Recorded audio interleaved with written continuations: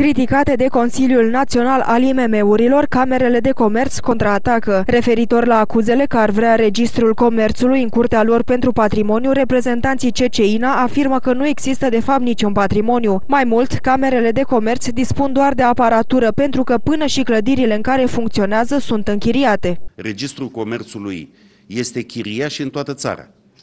Ca să fiu și mai pe înțelesul tuturor, din 2004 până în prezent, au plătit chirii de 25 de milioane de euro, care înainte când uh, acest registru comerțului era la camerele de comerț, era o cifră care nu se plătea. Reprezentanții Camerei ar putea folosi astfel baza de date a Registrului Comerțului pentru statistici. Așa ar putea, de exemplu, să determine cuantumul capitalului străin din Constanța provenit din fiecare țară, dar și cifrele de afaceri și profitul companiilor. În plus, trecerea registrului în sectorul privat ar putea rezolva problema cozilor interminabile. Ce faci când uh, îți pleacă un om și ești în domeniul public. Se blochează postul și aștepți nu știu cât până când se deblochează. Ce faci în domeniul privat?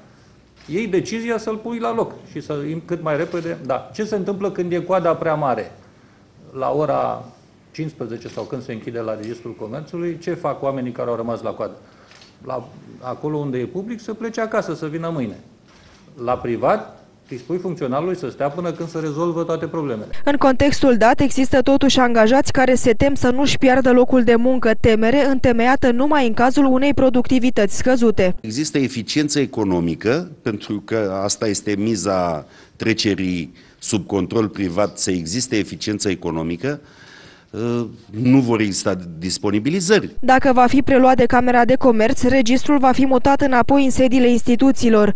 Până la momentul mutării, CCINA ar putea plăti chiria actualelor sedii.